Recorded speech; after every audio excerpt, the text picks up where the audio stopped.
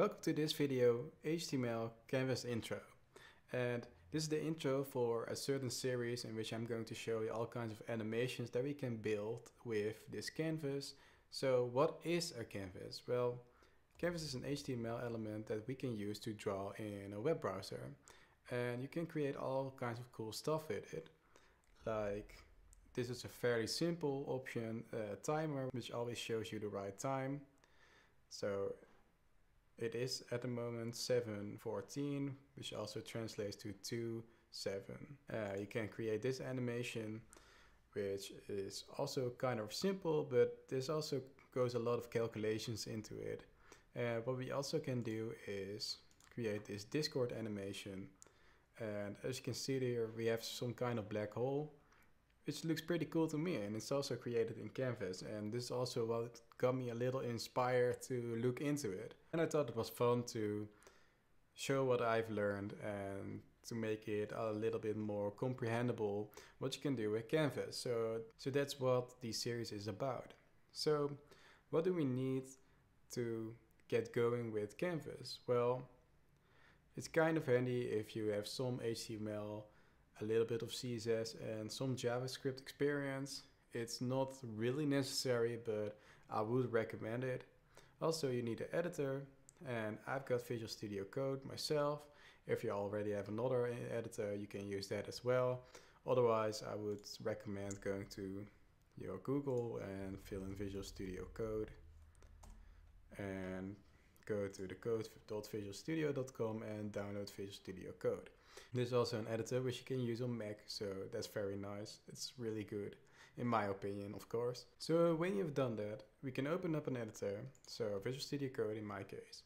And the first thing that we're going to do is create a new folder. So I'm going to open up a folder and I'm just going to create a new one. It's going to say canvas, enter, enter, and then I select the directory and then we open up an empty directory. And what we're going to add to this directory, which we can do in Visual Studio Code by clicking on this new file and we create an index.html. So if you're known with HTML, then you would know that there are certain elements that are mandatory in HTML. So the first one, and also the most important one, is the HTML tag itself. HTML is an XML markup language in which we can create elements that we can show on the web browser. I will show you in a moment.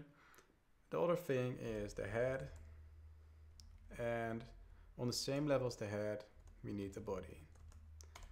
So in the head we do the references to the outside so let's say styling sheets, CSS styling sheets, JavaScript sheets and in the body we actually create the elements that we want to show on our page. So if I now type here something test and how I can see now what it's going to create is by right clicking here. We're going to reveal the explorer and I'm going to double click on this index HTML so as you can see we have test here and what I typed here was test. If I create an element like an header 1 tag this it's really simple. You just have to type h1 so you do have to know the tag that you want to use we set text inside it, we save it, go back to our browser, press F5, and as you can see, it's now a header tag. We can do this with all kinds of different elements, but we came here to play with the canvas. So let's do that. Instead of h1 and this test, I'm going to create a canvas. And what's mandatory when you create a canvas is by giving it a width and a height. So I'm going to give it a width of 400 and also a height of 400. Let's save that. It's F5 and as you can see we see nothing. And why don't we see anything? That's because the canvas is also white and the background is white. And to show you that, it's a really easy way to check how a site is organized is by right clicking it, click on inspect or inspecteren which is called in Dutch then we can see that we have here a canvas element. And as you can see, it has some, it also has some body to it. It is this it is this blue line is 400 by 400 and actually what we want is to create a canvas element which is just as big as the screen but because everybody's screen resolution is different we're going to do that by JavaScript but first let's take a look at how we can manage to see this canvas element what we can do is and if you're really into CSS you're going to hate me a little for it is set a styling property. And in this styling property we can say background color is red. What this is going to do is going to set the background color of our element on which we put this tag which is the canvas it's going to turn the background to red so if we go back now and we F5 we can now actually see our canvas element now next thing that we're going to do is we're going to fix this white border around it because I don't want it. And what is this right border? So if we right click on it and we check out the body, you can see that there are certain margins on it. So what is a margin? A margin is space around the element that you put it on. So we have a body and it pushes everything on the outside 8 pixels away. So to fix that, we have to set the margin to 0 pixels. And to show you that, we can also type directly in here and we set margin 0 pixels. And what we can do now is, as you can see, is that our white border is gone now. So we want that as default. And to do that, we have to go to our Visual Studio Code again. And we also could set that on the body with also a style tag, but to actually use CSS properly, I'm going to define in this head a style tag. And we're just going to use CSS. If you want to, you can also create a file, a CSS file and link it inside the head. But, but because there's not much CSS going on in these videos, I'm just going to place it in the head for now. So what we can do now is we can put up a reference and we want to set the body with a different margin. And you can do that in different ways. The way I'm going to do is just using the body tag and this means that every body tag now gets a margin of 0 pixels if I save that so Ctrl S and go back to the browser then you can see that if I F5 that the white border is not showing up anymore. I'm going to close these down. I'm also going to close this one. We can also do that for the canvas. Um, we could also use canvas here and now say background color red and then we can delete this. And go back to our browser and press F5. And as you can see, it's still red. Now, the next thing I want to do is make this canvas go across the whole screen. So to do that, we're going to actually define some JavaScript. So what do we have to do? I'm going to below this canvas and I'm going to open up a script tag. Inside the script tag, we are able to create JavaScript.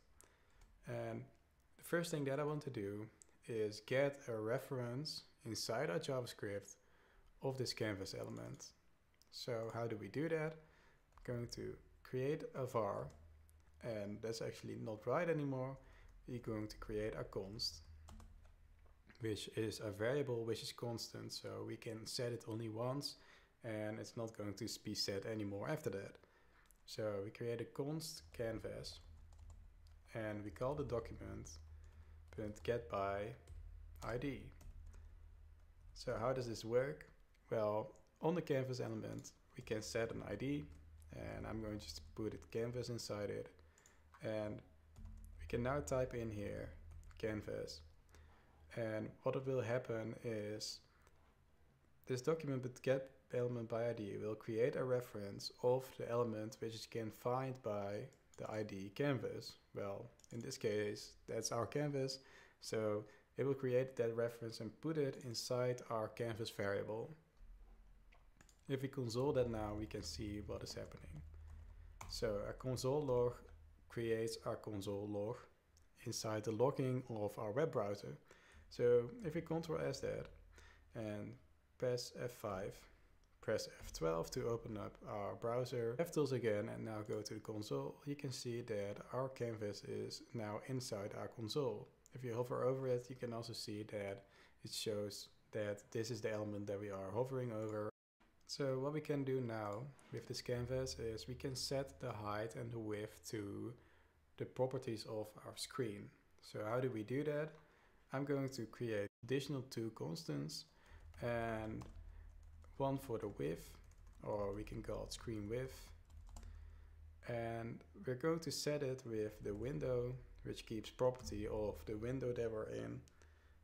And I'm going to call the inner width which is going to give us back the amount of pixels on the screen in the width so this is probably if you have a 1920 screen by 1080 then it will be around 1920 with a little margin. So also we're going to do that for the height.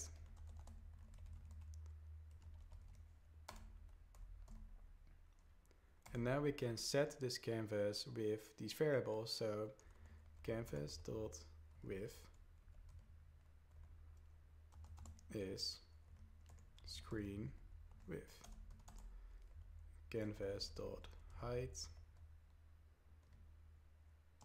is screen height. Let's Ctrl S that, press F5, and as you can see now, our canvas is the whole screen. So how do we know it's not any bigger? Then we would see some scroll bars and they don't appear so we know now that the canvas is our whole screen. So let's turn it back to white. Now we confirmed that, so this can go away. And it's white again. So what are we going to do now?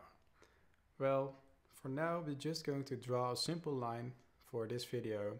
In the next video we're going to actually draw many lines. So the first thing that we have to do to be able to draw a line is get the 2D context. So we're going to create another variable, const context, and then we go to the canvas and call get context, and we type as a string 2D. As you can see, it's also helping us a little. So context 2D is also something, and maybe it's even the default as I see now. But for to be sure, let's just do this. And what we can do now is we can draw on it. So how do we do that?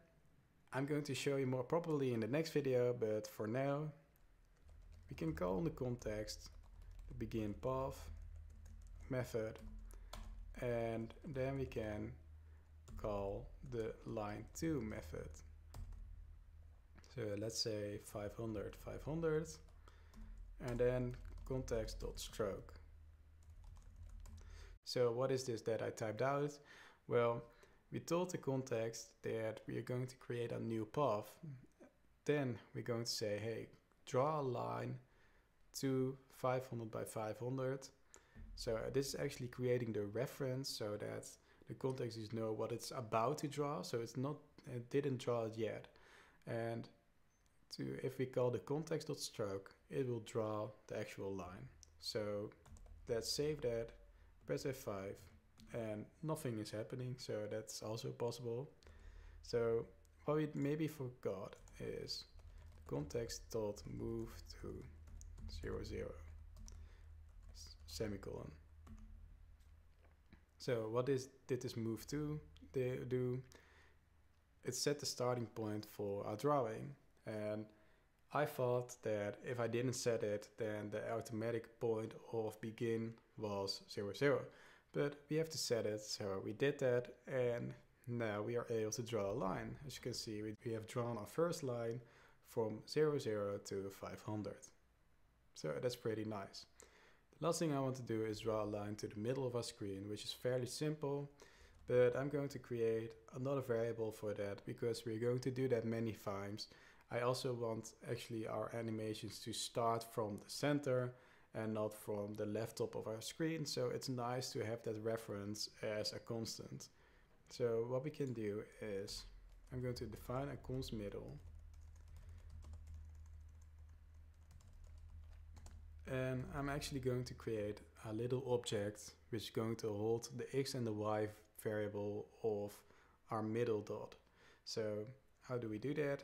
We open up curly braces, semicolon bind it. So now we can type in a JSON format the variables that we want and it will be clustered inside this middle variable. So I want the x coordinate and to do that I just type x double dot and then to define the middle of the width of a screen we just have to take the screen width and separate it by 2. Then we have a comma instead of a semicolon and we do that also for the screen height. Separate by 2 and you don't need any commas anymore and we control S that and we don't go to our browser yet. Instead, this line to, this first input is the x coordinate and the, and the next input is the y coordinate. So to draw a line to the middle of our screen, we have our move to 0, 0. So, so to fill in the right x coordinate, we type here middle dot x and middle dot i and now it references this x coordinate and this y coordinate. If I now Control S, go back to our screen, press F5, then it had drawn a line to exactly the middle of our screen. So that's kind of nice. That's going to be it for this video. In the next video, we will actually take a look at strokes a little bit more in depth.